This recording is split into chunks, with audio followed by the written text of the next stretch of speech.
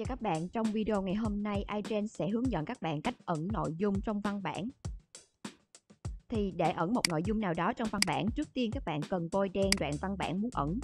Và ở trong thẻ Home, các bạn sẽ nhấn vào mũi tên dưới phông chữ và lúc này trên màn hình sẽ hiển thị lên bảng phông.